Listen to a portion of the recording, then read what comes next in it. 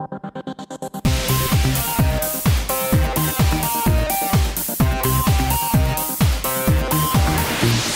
kaller seg mammaaktivist og husmor fra Sørlandet.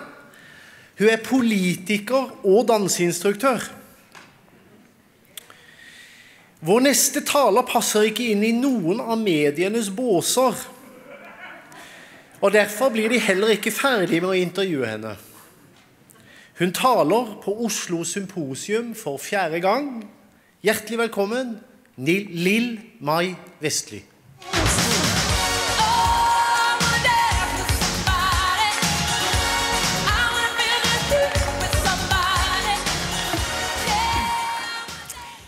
Kjære Oslo Symposium, jeg har gleda meg veldig til å stå her. Dette er en plattform jeg er veldig veldig stolt av. Det må jeg bare si. Og jeg, der, jeg er her for fjerde gang, og det er et stort privilegium. Kjære statsminister Erna Solberg. Du innledet til Herrens år 2019 med en nyttårstale som lanserte det store mysteriet, mysteriet Hvorfor vil ikke den norske mann i hus og hytte lage unger lenger? Jeg skal ikke trøtte dere med kroppsvæskedryppende fakta, men nøye meg med å minne om at lyst er ikke, er ikke nytt under solen. Og i fri natur så ramler den ene etter den andre helt ut helt av seg sjøl. Fødselsstatistikken handler om nasjonaloppgave nummer én, om sex, stat og slappe statistikker, om tro, familie og flagg. Og den viser at eh, du har snart ingen befolkning å være statsminister for. Fruktbarheten for 2018 er 1,56 per kvinne. Det laveste som noen gang er målt, og de begynte å måle i 1846. Eh, vi må altså ha 2,2 bare for å reprodusere oss. Tallene innebærer òg dramatiske demografiske endringer internt i befolkningen, eh, fordi nye folkeslag strømmer til med en mye høyere fødselsrate. Den demografiske utviklingen den trumfer kompromissløst alle andre samfunnskrefter, både økonomiske, politiske og intellektuelle strømninger. Europa står midt i et sivilisasjonsvalg i fragmentene av det kristne kontinentet. Verdenshistoriens udiskutable suksess bygd på den naturlige og kristne familiemodellen med mor, far og mange barn. Den kulturradikale ideologien har de siste tiåra født skilsmissefamilien, alenefamilien, den skeive familien med laboratoriebarna og den polyamorøse familien er like om hjørnet. Samtidig har den muslimske storfamilien gjort sitt inntog. Alle mennesker er like mye verd, og jeg, eh, dere husker jo sangen fra søndagsskolen om 'Jesus elsker alle barna'. Ulike religioner og ideologier har alle et gudssyn og menneskesyn med tilhørende verdisett for familiemodell og samfunnsmodell med politiske standpunkter. Det, det importerer man også. Det kristne verdensbildet tar utgangspunkt i at Gud, som er allmektig, fullkommen, kjærlig og rettferdig, skapte mennesket i sitt bilde og ga det et hellig stempel, en unik verdi og det absolutte menneskeverd, som var ugraderbart, umistelig, konstant og likt for alle mennesker. Uansett utviklingsstadium, rase, farge, kjønn, språk, religioner og andre ressurser. Noe som beskytter alle mennesker, ikke bare de kristne, og satte en grense for hva mennesket kan gjøre mot mennesket. Og det er intet annet enn en ruvende klippe i eksistensen. Og Hamlet utbrøt, 'Hur lik en gud'. Et høyteknologisk gullfrø i kosmos blant to trillioner galakser med en udødelig sjel.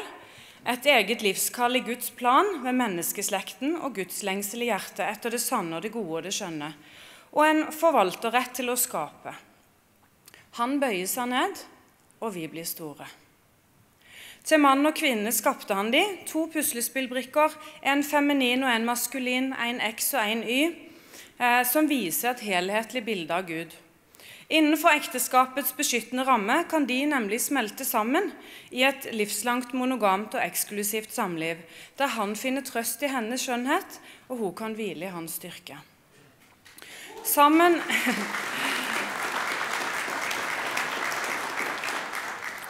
Sammen skal de forvalte skaperverket, forskjellige, likeverdige, gjensidig underordna, hvor hun skal respektere han, og han skal elske henne. Familien med mor, far, barn gjenspeiler bildet av den treenige Gud. Og det lille, hjelpeløse spedbarnet det legges ned i armene på mor og far. Og det fødes inn i en slekt, et nabolag, en landsby, som en dyne pakka godt rundt i mange lag. Og utenpå der så bestemte Gud trygge grenser for folkeslagene, for at de skulle finne Han, og han skulle beskytte særpreget og mangfoldet, for Gud er altfor stor til å uttrykke seg gjennom bare én nasjon. Og for at makten ikke skulle samles på noen få hender, og for at vi skulle kunne være en nødhavn. Det var mor og far og barneflokken og gården og generasjoner og nasjonen og Gud. Bibelen ble gitt som et kjærlighetsbrev til menneskene, et etisk oppslagsverk fullt av anekdoter, ruvende episke fortellinger, diktsamlinger og salmer, profetier som har gått i oppfyllelse, og historiske bekreftede fakta. Den skulle få danne selve bakteppet for vår kultur.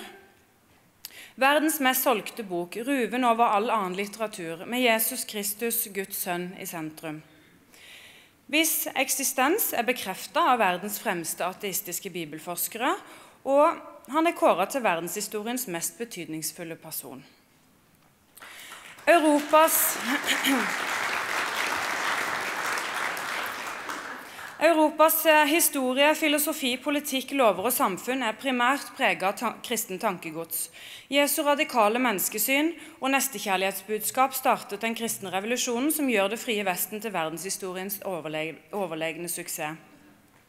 Liberale demokratier med markedsøkonomi og menneskerettigheter, sosial omsorg, moral, lojale ekteskap, sterke familier, tillit til fellesskapet, tjenende myndigheter og vitenskap som avdekker objektive fakta om skaperverket de undersøkte.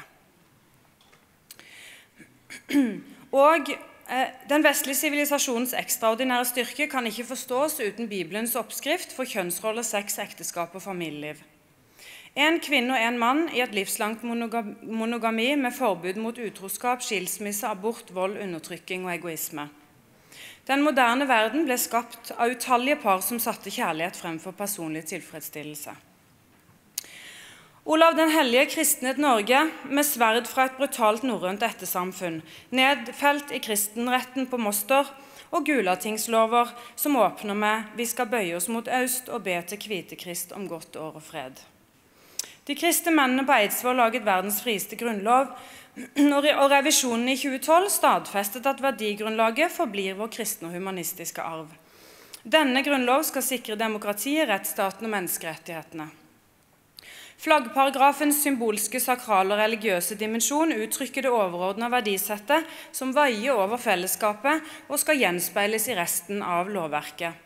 Som avgjørende må hente sin legitimitet i en levende tro i folkedypet med hjerter som er i tråd med lovverket. Prinsippene og velsignelsene gjorde oss til verdens rikeste land og verdens beste land å bo i. Og Den kristne respekten for individet og mangfoldet setter grenser for statens inngripen i privatlivet. Og det er her noen eh, trør feil. Skaperordenen bygger organisk innenfra og nedenfra, så ressursene, makten og ansvaret skal ligge i sivilsamfunnet hos familien, menigheten og markedet hvor statens oppgave kun er å sikre trygge rammer for individets utfoldelse der, og beskytte borgernes rett til liv og eiendom for å bevare menneskeslekten. Kristen politikk er ikke å gi kristne som gruppe særfordeler, eller lovpålegge alle å leve som Jesus. Da ville vi jo alle sittet i fengsel. Bibelens bud er mynta på de kristne, og idealet om nestekjærlighet er en utfordring retta mot enkeltmennesket, ikke mot staten. Abortloven må erstattes med en grunnlovfesta rett til liv fra unnfangelse til naturlig død.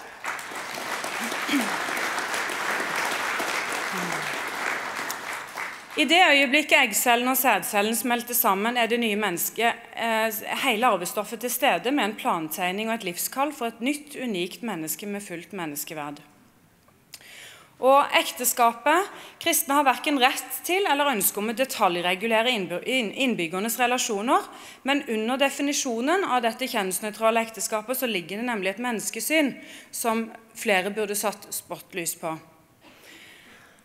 Og De kristnes status i dag det er 2,3 milliarder kristne i, i, dag. og Det eksploderer i vekkelser over hele, over hele verden, men Europa ligger i mørket.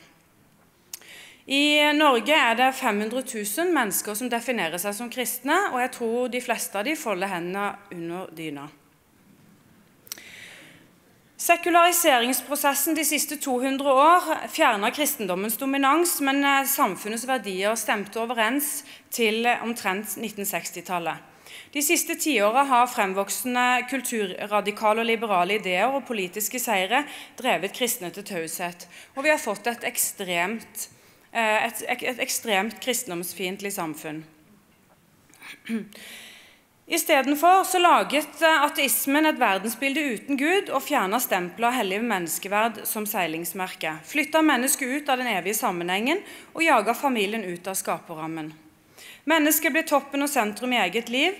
Ja, en naturalistisk psykosomatisk enhet med diskutabelt menneskeverd og en frihet som ikke måtte binde seg etiske normer og vi endte opp med en humanetisk det gode livet-etikk med et hedonistisk mål om nytelse og frigjøring fra samvittighet.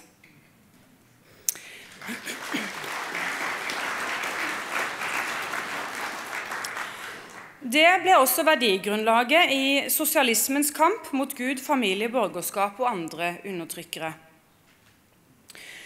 Den kjønnsnøytrale ideologien var et faktum. Den er et vestlig paradigme og en identitetsindustri som drev fram den, den, samlivsrevolusjonen som vi står midt oppi, på tvers av det faktum at naturen bare produserer to kjønn, og at kjønnsforskjellene bekreftes av alle sanser vitenskap, historien, religionen og markedet.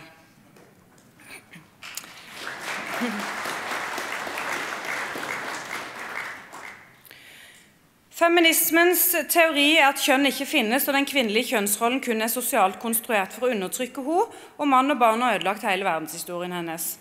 Hun vil derfor ikke være feminin mamma eller kone, men, bli, men vil gjerne være mannen hun hater. Eh, det blir presentert som en frigjøringsideologi, og noen konstruktive bidrag til samfunnsorganisering har han hatt, men den er i sitt vesen et krigsparadigme mot maskulinitet, femininitet, kjønnsforskjeller og familieinstitusjoner. Da det er et ubestridelig faktum at kjønnsnøytralitet ikke fører menneskeslekten videre, og oppløsning av familien fører til sivilisasjonens fall, nødvendigvis.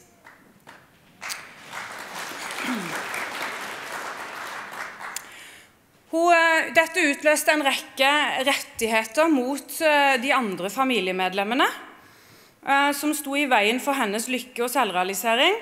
Eh, Bl.a. fedrekvoten, som river babyen fra mors bryst. Prevensjon, som gjør at eh, vi ikke får da mer enn 1,56 barn. Eh, og det selges 118 000 angrepiller i året, og du kan få de i hylla på, på nærbutikken.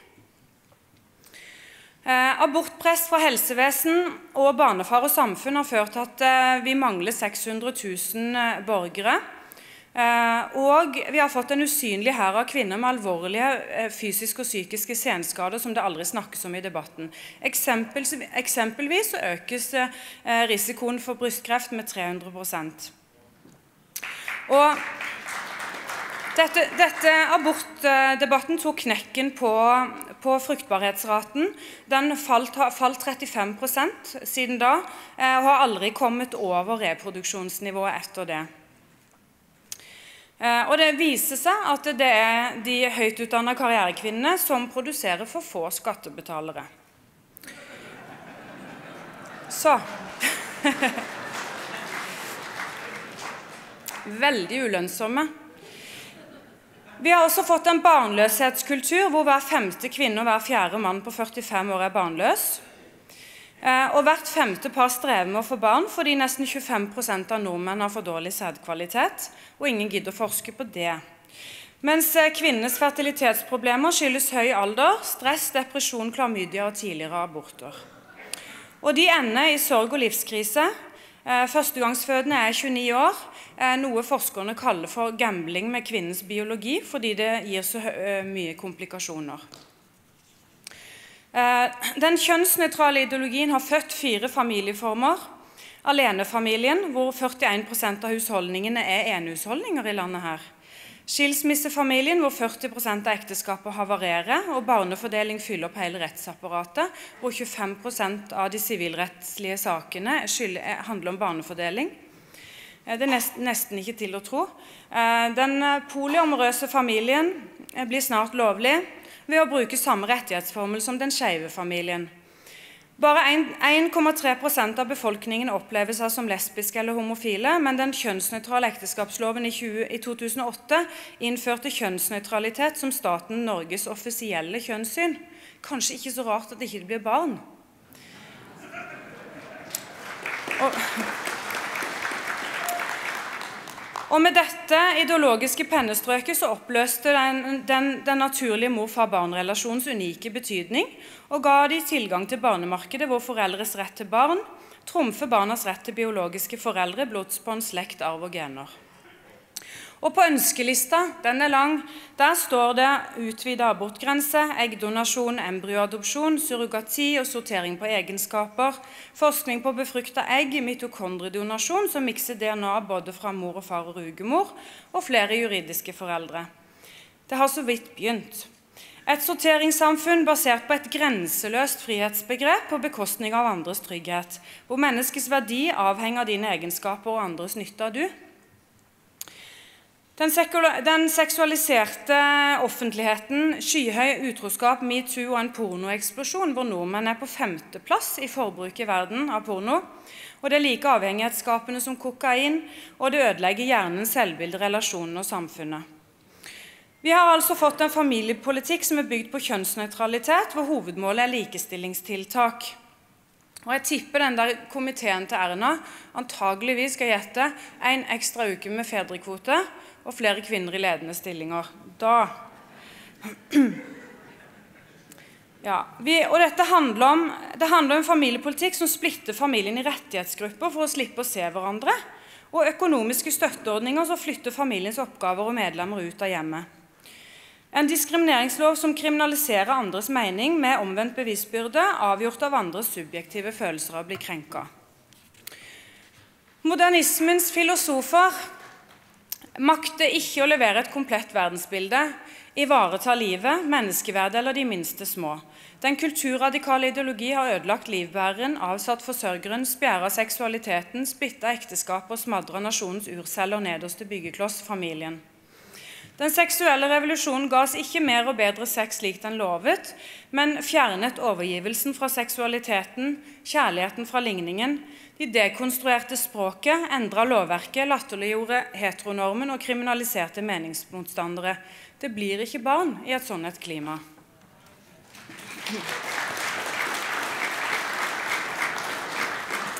Jeg skal gå mot eh, avslutning. Litt om islam, som er den tredje ideologien på kontinentet, eh, som også har sin familiemodell. Eh, det er verdens nest største religion med 1,7 milliarder på verdensbasis og den raskest voksende i Europa med 55 millioner og 300 000 i Norge. Islam er både en eroberreligion, et juridisk sharia-system og en politisk underkastelsesideologi. Eh, hvor, og De kalde fakta er at den islamske verden presterer dårligere enn resten av verden. Og analyser viser at det skyldes kvinnens rolle og lav investering i barna. Eh, vi kjenner jo til sharias eh, hierarkiske system med mannens rett til fire koner. Eh, altså, små barn som er omskjæret, hijab Vi kjenner jo til det, vi har sett det. I deres rike finnes ikke likeverd, likestilling, menneskerettighet og trosfrihet, ytringsfrihet, meningsmangfold, kritikk av autoriteter, men dødsdom for annerledestenkende. Og Oppsummeringen er at Fødselsstatistikken det tvinger Europa til selvransakelse og et sivilisasjonsvalg.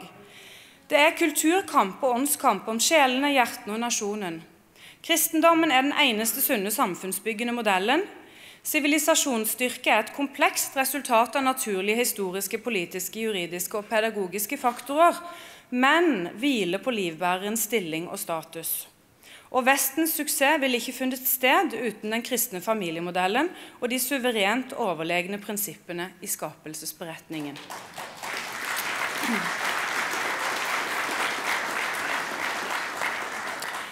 Europa må på nytt bestemme seg for Jesu radikale menneskesyn og grunnleggende etikk.